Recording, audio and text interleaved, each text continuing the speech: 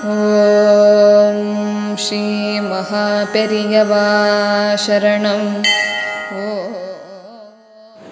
மಹಾಪರ್ಯವಾ ಶರಣಂ ಸದಾಶಿವ ಸಮಾರಂಭಾಂ ಶಂಕರಾಚಾರ್ಯ ಮಧ್ಯಮಾಂ ಅಸ್ಮತ್ ಆಚಾರ್ಯ ಪರ್ಯಂತಾಂ ವಂದೇ குரு பரம்பராம் கருணைக்கடலாம் ஸ்ரீ ஸ்ரீ மகாபெரியவாளுக்கு அடியேனின் அனந்த கோட்டி நமஸ்காரங்கள் நம்ம போன எபிசோடில் மகாபெரியவாளோட பரங்கிப்பேட்டை விஜயம் பற்றி பார்த்தோம். அந்த ஊரில் ஒரு இஸ்லாமியர் மகா பெரியவா மேல காட்டிய பக்தியை பற்றியும் பார்த்தோம். இப்போ அதுக்கு அடுத்தாப்பில் ஒரு முக்கியமான யாத்திரை பற்றி பார்ப்போம். முன்பு மகா பெரியவா ராமேஸ்வரத்துக்கு விஜயம் செஞ்ச போது அங்கிருந்து மணலை சேகரித்து பூஜையில் வச்சிருந்தா. அது எதுக்குன்னு சொன்னால் கங்கா யாத்திரையை முன்னிட்டு அவ்வாறு மணலை சேகரித்து பூஜையில் வச்சிருந்தா. அப்படி சேகரித்த அந்த மணல் பன்னிரண்டு ஆண்டுகளுக்குள் பிரயாகையில் அதாவது அலகாபாத் திருவாணி சங்கமத்தில் சேர்க்க வேண்டும் என்ற நியதியை ஒட்டி மகாபெரியவா தஞ்சையிலேருந்து சீக்கிரமாவே அலகாபாத் போகணும்னு சொல்லிட்டு தீர்மானம் பண்ணினா. சாலை மார்க்கமாக காசிக்கு போகிறதுக்கு வழிகளை அறிந்து வரும் பொருட்டு தென்காசியை சேர்ந்த அனந்த கிருஷ்ண சர்மா என்னும் இருபது வயது வாலிபரை கங்கா யாத்திரைக்கு புறப்படுறதுக்கு சுமார் பத்து வருஷத்துக்கு முன்னாடியே மகா பெரியவா அனுப்பி வச்சிருந்தா. அப்படி அனுப்பும்போது அந்த கிருஷ்ண சர்மாக்கு அனந்த கிருஷ்ண சர்மாக்கு மகா பெரியவா சில நிபந்தனைகளை குறிப்பிட்டிருந்தா. அந்த நிபந்தனைகளை கேட்டால் நமக்கும் புல்லரிக்கும். என்னன்னு கேட்டால் அவர் காசியை அடையும் வரை நடந்தே செல்ல வேண்டும். அவரோட உணவை அவரே தான் தயாரிச்சுக்கணும். சிறு சில பாத்திரங்களையும் மிகவும் அவசியமான உடையை மட்டுமே அவர் எடுத்து செல்ல வேண்டும். எவரிடமும் அவர் வெகுமதியாய் பணம் பெற்றுக்கொள்ளக் கூடாது உடல் நிலை காரணமல்லாது ஒரு ஊரிலும் ஒரு நாளைக்கு மேல தங்கக்கூடாது. அவரிடம் கொடுக்கப்பட்ட போஸ்ட் கார்டிலெல்லாம் அன்றாடம் அவர் சென்ற ஊர்களை பற்றியும் பாதையின் தன்மைகளை பற்றியும் சந்தித்த மனிதர்களை பற்றியும் பென்சிலால சுருக்கமாக எழுதி மடத்திற்கு தபால் மூலம் அனுப்ப வேண்டும்.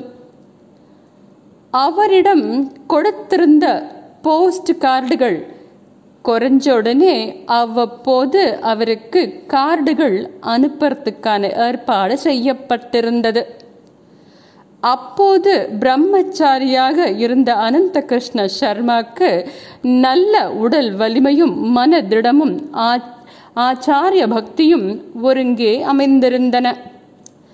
அவருக்கு தமிழோட ஆங்கிலமும் பேசத் தெரியுமாக இருந்தது பேசத் தெரிஞ்சிருந்தது.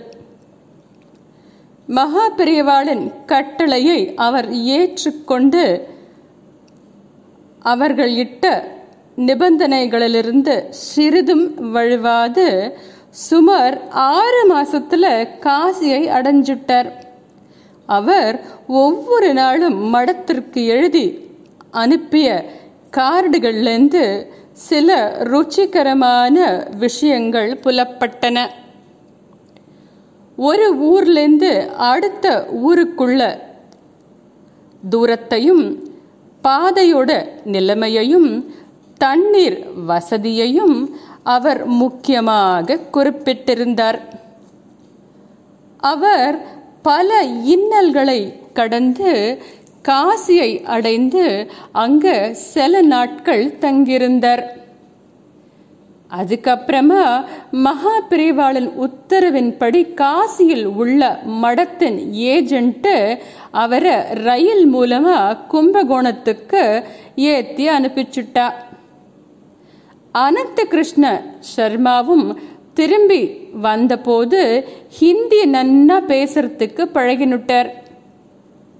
அவர் மகா பெரியவாளை ஒரு முகாமில் தரிசனம் செஞ்சுட்டு யாத்திரையின் போது தன்னோட அனுபவங்கள் என்னெல்லாம்னு சொல்லிட்டு மகா பெரியவாளுக்கு விவரமாக தெரிவிச்சா. அவரது ஆழ்ந்த பக்தியையும் விடா முயற்சியையும் மகா பெரியவா ரொம்பவும் பாராட்டி அனுகிரகம் பண்ணினா. அனந்த கிருஷ்ண சர்மா அதுக்கடு அப்புறமா மனம் புரிந்து கொண்டு மடத்திலேயே ஊழியம் செய்து வந்தார்கள். அதனால அனந்த கிருஷ்ண சர்மா சென்று வந்த வழியாகவே கங்கா யாத்திரையை செய்யலாம்னுட்டு தீர்மானம் பண்ணி மகா பெரியவா குன்னக்குடி சுவாமிநாத ஐயர் அப்படிங்கிறவாள ஆங்காங்கு மடம் தங்குவதற்கான இடவசதிகளெல்லாம் கவனிச்சுக்கும்படி நைன்டீன் தேர்ட்டி டூ வருஷத்தில் இறுதியில் அனுப்பி வச்சிருந்தா. அவர் மூலமாக மகாபெரியவா கங்கா யாத்திரையாக வருவதை அறிந்த கங்காதீர வாசிகள் ரொம்பவும் மகிழ்ச்சியுற்றவர்களாக மகாபெரியவாளின் வரவை ரொம்ப சீக்கிரமாகவே எதிர்பார்க்கிறதாவும் சொல்லியிருந்தா. மகா பெரியவாளுக்கும் அவர்களின் பரிவாரங்களுக்கும் வேண்டிய எல்லா வசதிகளையும் நாங்கள் செய்து கொடுக்குறோன்னு சொல்லிட்டு ரொம்ப ஆவலாவும் இருக்கோம்னு சொல்லிட்டு அவா சொல்லியிருந்தா. மகா பெரியவாளுக்கு விஞ்ஞாபன பத்திரிகைகள் பத்திரிகைகள் எழுதி சுவாமிநாத ஐயர் மூலமாக அனுப்பி வச்சிருந்தா.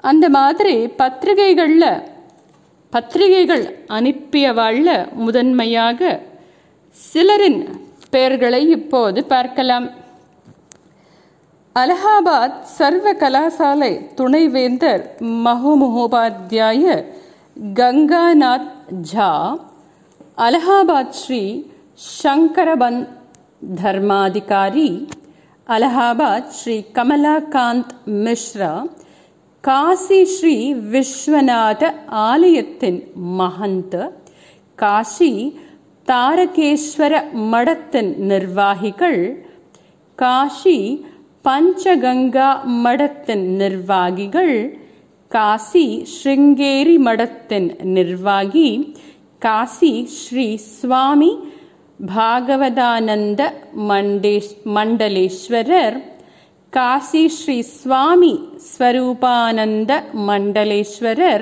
काशीभारतधर्ममहामण्डलत् प्रधानपण्डितः महोमहोपाध्याय श्री आनन्दचरणर्कशूडामणि काशीधर्मशास्त्रपण्डितर् श्री विद्याधरगौडा गयाश्री काशीनाथसिंहा गयाश्री Govardhan Mishra April nineteen thirty த்ரீல மகா பெரியவா தஞ்சை ஜில்லால குற்றாலத்துக்கு அடுத்தாப்புல இருந்த கோமல் என்னும் கிராமத்துக்கு விஜயம் செஞ்சிருந்தா.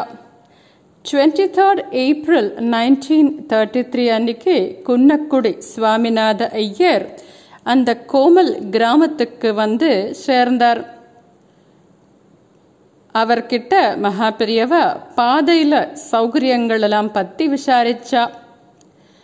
குன்னக்குடி சுவாமிநாத ஐயர் கோமல்ல மகா தரிசனம் பண்ணிட்டு காசி யாத்திரை செல்லக்கூடிய பாதையின் விவரங்கள் எல்லாம் விவரமாக சொன்னான் தஞ்சாவூர்ல அந்த வருட சாத்துர் மாசியமும் நவராத்திரியும் முடிஞ்ச அப்புறமா கங்கா யாத்திரை தீவிரமாக்கப்பட்டது.